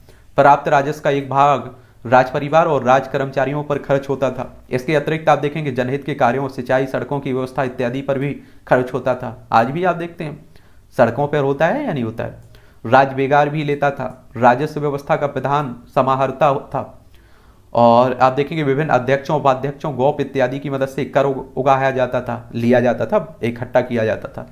सन्निधाता राजकोषीय कोष भाल की, कोष की देखभाल करता था और राज्य के आर्थिक हितों को सुरक्षित, आर्थिक हितों को क्षति पहुँचाने वालों के लिए कड़े दंड की दंड की व्यवस्था की गई थी। फिर नगर प्रशासन आता है। इस समय नगर प्रशासन किस तरह का था? तो मौर्य साम्राज्य की स्थापना तक भारत में अनेक नगरों की स्थापना हो चुकी थी। हड़प्पा के नगरों के पतन के पश्चात आप देखेंगे अनेक आर्थिक, सामाजिक और राजनीतिक कारणों से छठी शताब्दी ईसा पूर्व में पुनः नगरों का उदय हुआ। वैसे नगरीकरण का द्वितीय चरण कहा माना जाता है। नगरों के उदय और विकास ने अनेक नई समस्याओं को जन्म दिया और इसके, इनके समाधान के लिए चंद्रगुप्त मौर्य ने नगर प्रशासन की व्यवस्था की थी। और मौर्य काल में प्रमुख नगरों का प्रशासन नगर पालिकाओं के द्वारा चलाया जाता था। नगर प्रशासन के प्रधान को नागरक नगर अध्यक्ष और और प्रमुख या नगर व्यवहारिक कहा जाता था जिसके प्रमुख कार्य थे आग से नगरों की सुरक्षा व्यवस्था करना नगर की स्वच्छता को बनाए रखना रात्रि में नगर आ, आगमन को नियंत्रित करना। और आप सभी जानते हैं कि देखिए अभी भी तो आप लोग देखते हैं नगर पालिका नगर निगम नगर पंचायत आप लोग सुनते रहते हैं यानी नागरिकों के नागरिक के कार्यों का कार्यों पर समाहर्ता का नियंत्रण होता था। कौटिल के अनुसार पूरा नगर चार वार्डों में विभाजित था। प्रत्येक वार्ड में एक एक स्थान की नियुक्ति की जाती थी, जो नागरिक एवं गोप के मध्य मध्यवर्ती भूमिका अदा करता था। गोप नगर का जनगणना अधिकारी होता था, जो प्रत्येक घर के सदस्यों के जन्म, मृत्यु का लेखा जोखा रखता था। और प्रत्येक बाहरी व्यक्ति जो उस नगर में प्रवेश करता था, उसे गोप का, को सूचना देनी पड़ती थी। तो आप समझिए कितनी अच्छी नगर प्रशासन व्यवस्था है, कि अगर किसी शहर में कोई रहने आ रहा है तो उसका भी लेखा जोखा रहता था। कितने लोग हैं, कितने, किस घर में मेंबर हैं, सबके बारे में जानकारी रहती थी। मैगस्थनीज ने पाटलिपुत्र के नगर प्रशासन का विस्तृत विवेचन किया। उसके अनुसार नगर प्रशासन की देखभाल के लिए तीस सदस्यीय, छह उप समितियाँ होती थी, जिसमें प्रत्येक समिति में पाँच पाँच सदस्य होते थे। प्रथम समिति में देखें तो इसका काम था यह शिल्पियों और औद्योगिक क्रियाकलापों पर नियंत्रण रखती थी। सार्वजनिक भवनों और सड़कों का निर्माण इसी समिति के द्वारा करवाया जाता था। द्वितीय समिति में देखें तो यह विदेशियों को भोजन, आवास, चिकित्सा और दाह संस्कार का व्यापक प्रबंधन करती थी। तृतीय समिति में देखें तो यह जनगणना से संबंधित थी, जो नगर में होने वाली जन्म मृत्यु का लेखा जोखा रखती है। और आप लोगों को पूछते भी रहते हैं कि आखिर जनगणना करवाने का उद्देश्य क्या होता है? देखिए, जनगणना आपके पास, आप सोचिए कि आप परिवार के मेंबर है या आप सोचिए कि मुख्य करता धरता है। अगर आपको मालूम है कि आपके परिवार में इतने मेंबर हैं तो मुझे लगता है कि आप लोग परिवार का प्रबंधन बेहतर तरीके से कर पाएँगे। किसे किसकी ज़रूरत है? कौन किस स्थिति में है? समझ रहे हैं आप लोग? तो इन्हीं उद्देश्यों से आप देखिए एक तरह से योजनाएँ कैसे लागू होनी है। इसी के लिए जनगणना आपकी करवाई जाती है कि हमारे देश में कितने लोग हैं, कम से कम मालूम तो चले। चतुर्थ समिति या व्यापार और वाणिज्य पर नियंत्रण रखने वाली समिति थी, जिसका कार्य मूल्य का निर्धारण करना और व्यापारिक लाभ निर्धारित करना होता था। पंचम समिति या उत्पादित वस्तुओं में मिलावट और विक्रय की देखभाल करती थी। छठी समिति आप देखेंगे, यह विक्रय कर का व्यापक निरीक्षण करती थी और तथा बेची गई वस्तुओं पर मूल्य का दसवा भाग वसूल करती थी। कौटल भी नगर प्रशासन का उल्लेख करता था और यज्ञ भी वह बोर्ड और नगर समितियों का उल्लेख नहीं करता। तथापि अनेक ऐसे पदाधिकारियों का उल्लेख करता है जो मेगस्थनीत द्वारा वर्णित कार्य करते थे। कौटिल्य के पन्नाध्यक्ष, संस्थाध्यक्ष, फोतवाध्यक्ष, वही कार्य करते थे जो मेगस्थनीज के पहली दूसरी चौथी और पांचवी समिति के सदस्य करते थे। फिर आप देखेंगे सामाजिक विन्यास किस तरह से थी? सामाजिक व्यवस्था। तो मैगस्थनीज के अनुसार भारतीय समाज, व्यवसाय एवं आर्थिक आधार पर सात वर्गों में विभाजित था। एक कौन कहता है? मैगस्थनीज कहता है। उसने चतुर्वर्ण व्यवस्था का उल्लेख नहीं किया और उसके अनुसार कोई भी जाति ना तो किसी दूसरी जाति में विवाह कर सकती थी और ना ही किसी दूसरी जाति का व्यवसाय अपना अपना सकती थी। लेकिन दार्शनिक एकमात्र अपवाद थे। इस वर्ग में ब्राह्मण एवं श्रवण दोनों आते थे। यानी कि कहने का मतलब है, आप सोचिए कि क्लियर इनके काम थे। आप सोचिए कि इनमें एक जाति का आप सोच रहे हैं कि अंतर जाति विवाह भी नहीं हो सकते थे। आप सोचिए कि जिसका काम जो है तो उसी का वही काम करेगा। अब नाई का बाल काटना है तो नाई का बाल ही काटेगा, कोई और नहीं काटेगा। आज के समय में आप देखिए, सब बदल गया। समाज में कृषकों की संख्या सर्वाधिक थी। काम, किसानों की बात हो रही है। किसान, कृषक, कारीगर और शिल्पियों को सैन्य कार्य से मुक्ति मिली हुई थी। पशु चालक ना तो गाँव में पशु चालक ना तो गाँव में। रहते थे ना ही नगर में। वरन यह डेरा बनाकर चारागाहों में पशुओं को चराते थे। मंत्री की संख्या समाज में सबसे कम थी, लेकिन समाज एवं प्रशासन में इनका सर्वाधिक प्रभाव था। अगर मैगस्तनीज के अनुसार जाति देखें तो दार्शनिक, कृषक, पशुपालक, कारीगर, व्यापारी, शिल्पी इसमें योद्धा, निरीक्षक, गुप्तचर, मंत्री और सभासद। ये क्या कहा है? मैगस्थनीज ने जातियों का क्रम बताया हुआ है कि इतने जातियों में बटे हुए थे। अगर आप कौटिल्य की बात करें तो कौटिल्य ने अपने अर्थशास्त्र में पंद्रह प्रकार के वर्ण संस्कार की जातियों का उल्लेख किया है और अर्थशास्त्र में परंपरागत रूप से चार वर्ण का उल्लेख मिलता है, जिसमें सामूहिक रूप से आर्य जनता का, आर्य जनता कहा जाता था और आर्य जनता के बाहर के लोग मलिक समझे जाते थे। आर्य जनता के लोगों को कभी भी दास नहीं बनाया जाता था, अन्यथा जुर्माने के रूप में बारेपन अदा करना पड़ता था। मौर्य काल में आप देखेंगे शूद्रों शूद्रों की स्थिति में सुधार आया, उन्हें वार्ता का अधिकार मिला और नई बस्तियों में सर्वप्रथम ज़मीन मिली। शूद्रों को वैश्यों के सहायक के रूप में अथवा स्वतंत्र रूप से भी कृषि और पशुपालन और व्यापार करने की अनुमति दी गई। कौटिल ने पंद्रह प्रकार की वर्ण संकर जातियों को सम्मिलित रूप से शुद्ध शुद्ध स्थर्मा कहा, लेकिन चंडाल व सौ पाकू को इससे अलग रखा। चंडालों के अतिरिक्त बहुत सी पेशेवर जातियाँ मिलती हैं। कौटिल्य ने व्यवसाय के आधार पर वर्गीकृत इन जातियों को सूद वर्ण के समकक्ष मानते हुए आर्य जनता का अंग भी बताया। तो ये भी याद रखिएगा, ठीक है? फिर आप देखेंगे तो समाज बड़ व्यवस्था पर आधारित था और बड़ व्यवस्था की रक्षा करना राजा का प्रमुख कर्तव्य भी माना जाता था। समाज में अभी ब्राह्मणों का स्थान सर्वोच्च था। एक तरह से आप देखिए कि सबसे पहले आपके पुरोहित हो जाते थे, ब्राह्मण हो जाते थे। उसके बाद आप देखिए क्षत्रिय हो जाते थे। क्षत्रिय आप समझते थे राजा। और इन्हें एक तरह से आप देखिए, यज्ञ का, यज्ञ इस तरह के काम जो भी रहते थे, ये आपके पुरोहित ब्राह्मण ही करते थे। और वे समाज में बौद्धिक और धार्मिक नेता भी थे। पुरोहित तथा शिक्षक के रूप में, राजा के मंत्री और कानूनी सलाहकार के रूप में भी वो राज्य एवं प्रशासन में महत्वपूर्ण भूमिका भी निभाते थे। दूसरा वर्ग आपके क्षत्रियों का होता था। वह यह वर्ग राजकाज, प्रशासन, सैनिक वृत्ति से संबंध रखता था। वैश्य व्यापार और किसी कर्म करते थे। वर्ण व्यवस्था के नियमों का पालन कठोरता से होता था। प्रथम तीन वर्णों का दोज की श्रेणी में रखा जाता था और सामूहिक रूप से यह विशेषाधिकार प्राप्त वर्ग था। खान पान विवाह संबंधी नियम वर्ण व्यवस्था के अनुकूल ही निर्धारित किए जाते थे। आश्रम व्यवस्था के पालन पर भी बल दिया जाता था।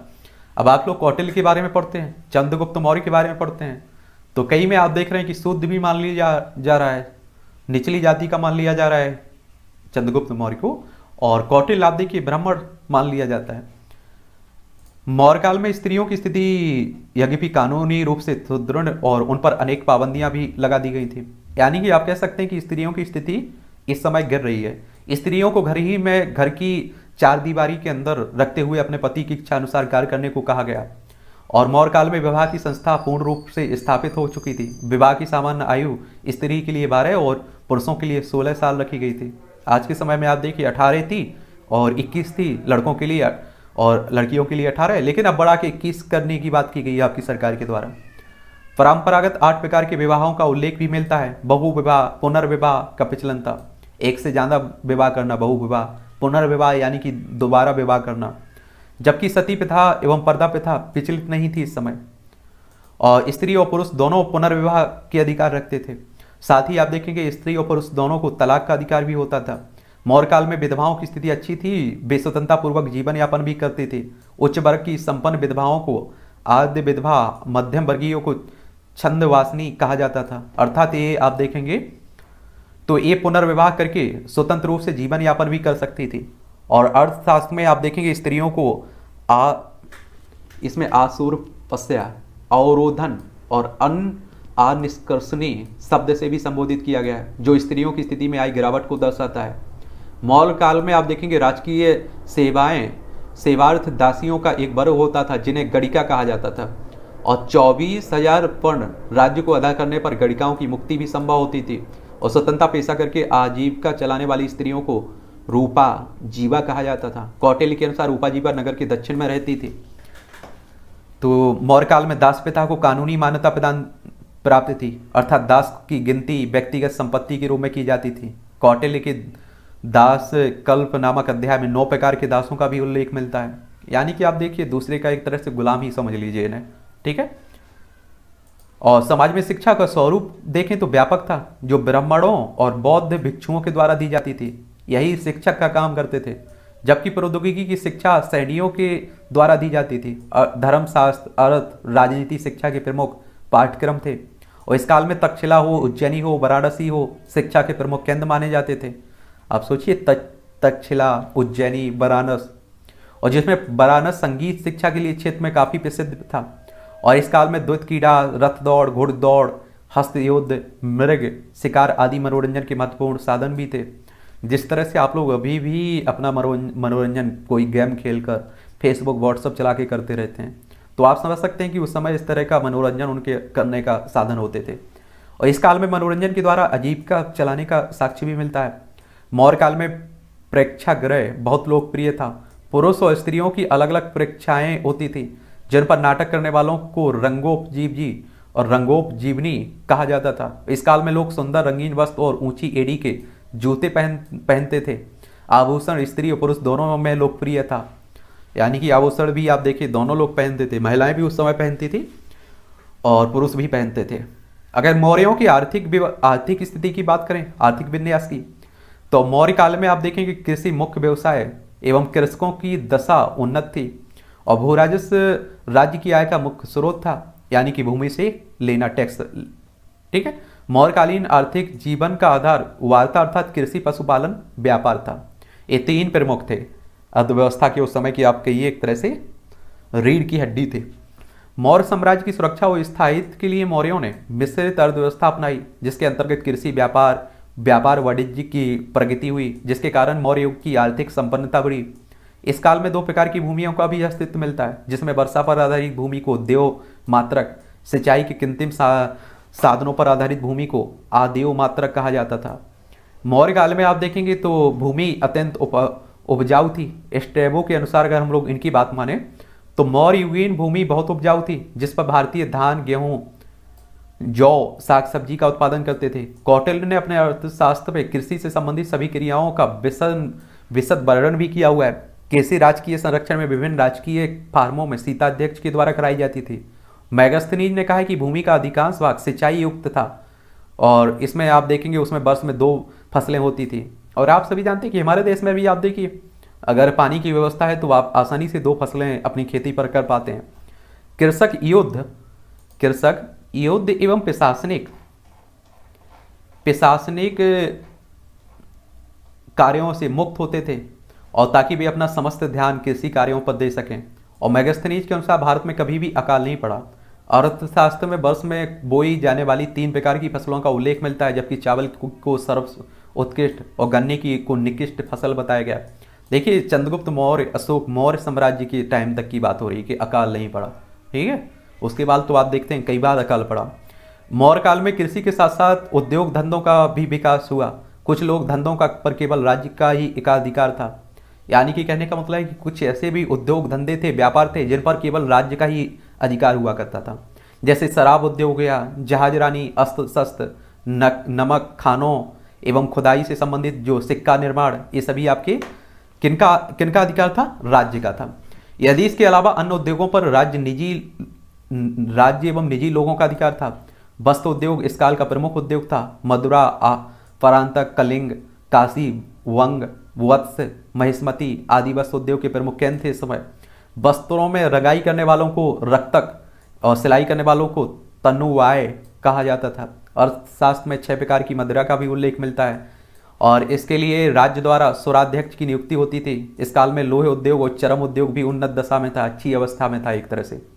मौर्य काल में आप देखेंगे व्यापार वाणिज्य पर राज्य का बड़ा नियंत्रण हुआ करता था।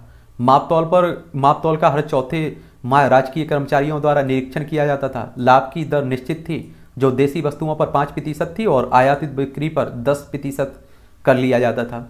बिक्री कर ना देने वाले के लिए मृत्यु दंड का प्रावधान था। तो आप समझिए कि अगर ऐसी सुविधा आज के समय में हो तो आप सभी सोचिए कि हर व्यक्ति टैक्स भरेगा, डरेगा नहीं। आप देखते हैं कि आज के समय में क्या होता है कि आप लोग टैक्स ना भरिए और पकड़ जाइए तो आप देखिए जितना आप लोगों को टैक्स भरना था, उससे आप सोचिए कि एक परसेंट में भी आप लोग छूट जाते हैं आराम से। तो इसलिए अगर ऐसा हो जाए कि आप सोचिए कि जब पकड़ा जाता है तो टैक्स की तुलना में दस गुना अधिक देना पड़े। तो आराम से लोग कहेंगे कि चलिए टैक्स ही भर लेते हैं, उससे अच्छा क्या है?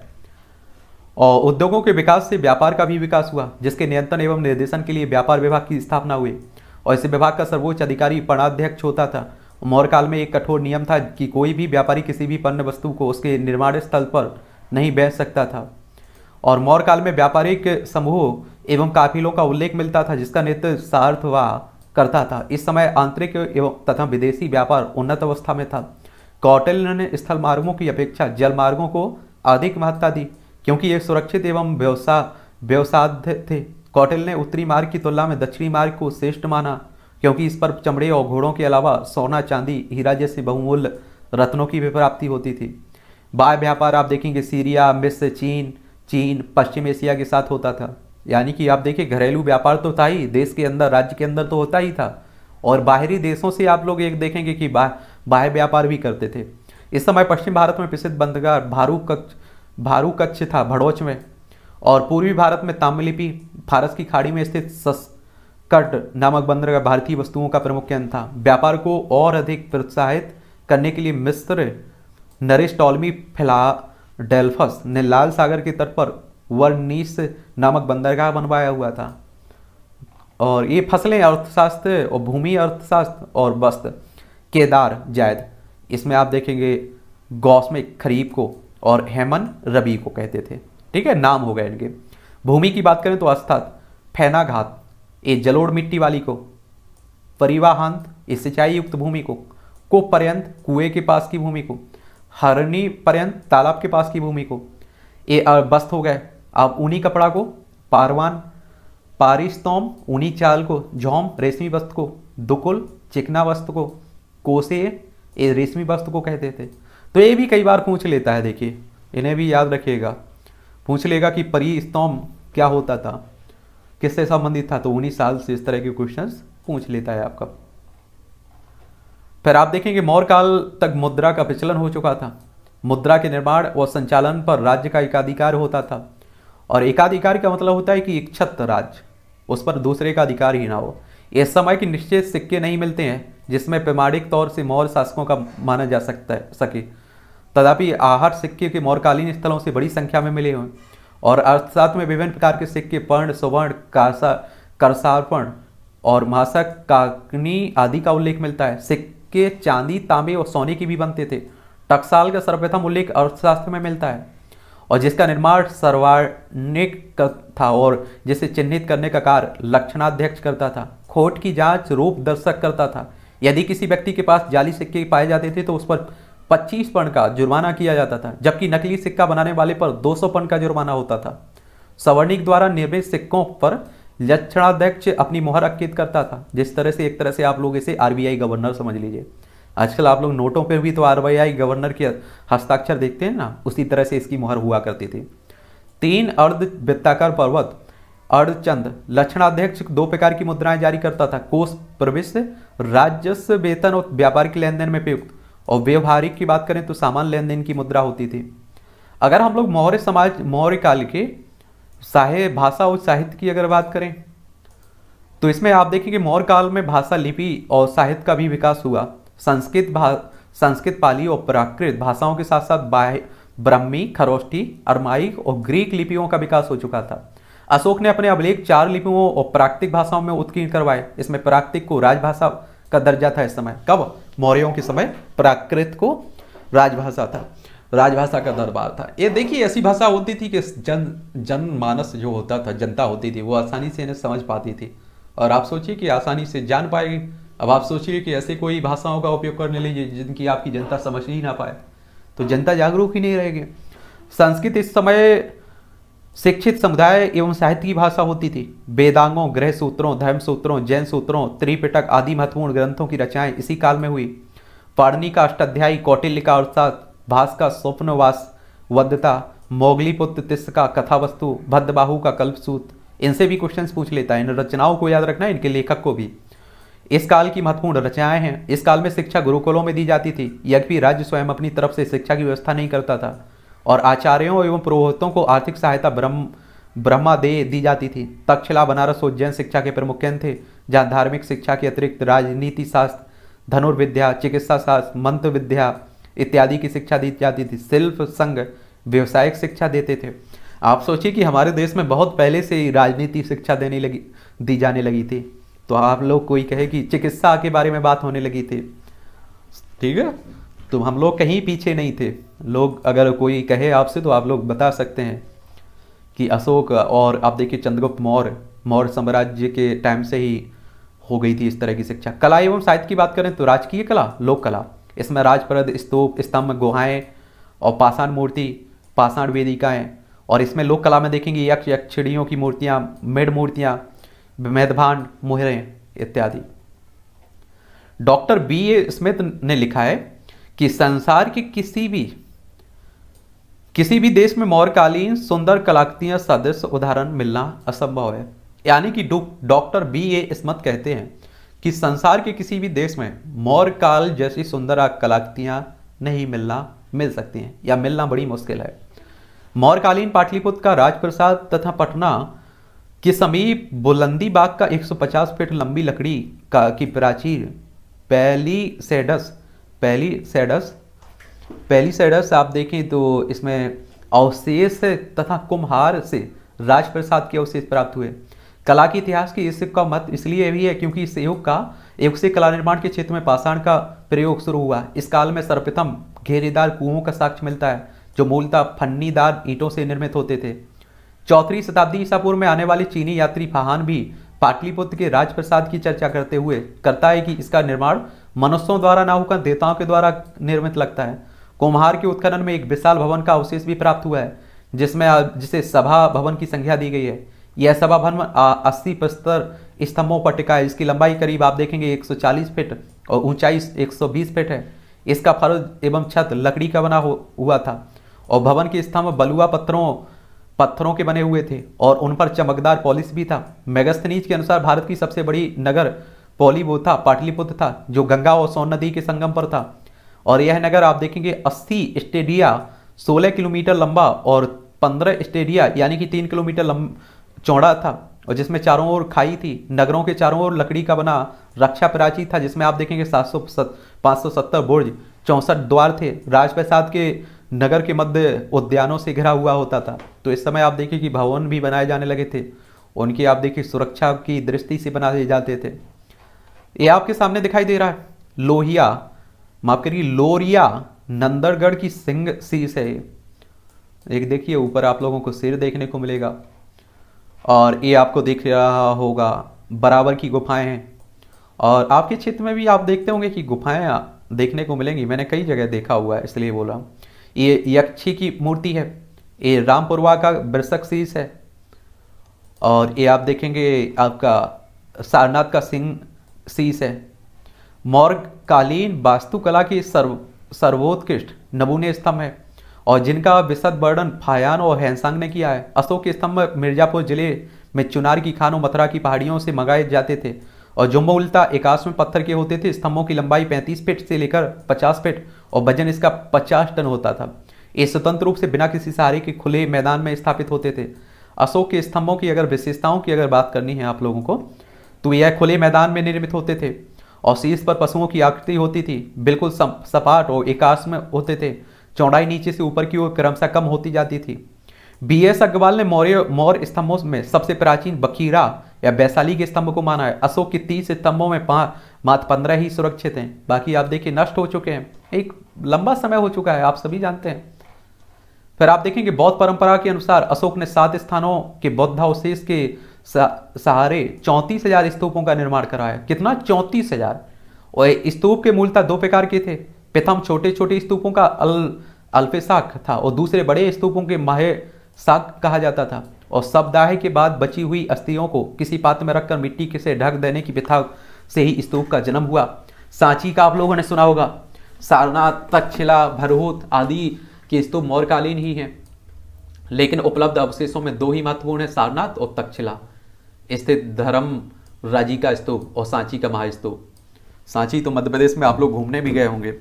सांची में कुल आठ स्तूप, आठ स्तूपों के साक्ष्य मिले हैं, जिसमें सर्वाधिक महत्वपूर्ण है महास्तूप। इसका निर्माण ईंटों के द्वारा अशोक के काल में हुआ, और तथा संवर्धन, परिवर्धन, सुंग काल में हुआ। इसका, इस स्तूप की वेदिका सादी है, और इसमें बुद्ध के अवशेष संरक्षित हैं। द्वितीय स्तूप में आप जिसकी वेदिका अलंकृत है अशोक कालीन दस धर्म प्रचारकों के नाम उत्कीर्ण है इसमें। भरवूत के स्तूप में चार अप्सराओं का चिंतांकन है और राजा प्रसेनजीत और अजाशत्रु को बौद्ध की वंदना करते हुए उकेरे गए। इसमें दृश्य कला की दृष्टि से भी काफ़ी अत्यंत उत्कृष्ट है। मौर्यकालीन पाषाण मूर्ति कला के सर्वोत्कृष्ट नमूने अशोक स्तंभों को मंडित करने वाली पशु आकृतियाँ हैं और उनके अन्य उत्कृष्ट नमूनों में उड़ीसा की धोली चट्टान को काटकर निर्मित हाथी की आकृति। कालसी में एक चट्टान पर हाथी का चित्र। जिसके पैरों के मध्य ब्रह्मी लिपि में गज तमे में शब्द उत्कीर्ण है। मौर्यकालीन पाषाण वेदिकाओं में बोध गया सारनाथ पाटलिपुत्र सांची की पाषाण वेदिकाएँ प्रमुख हैं।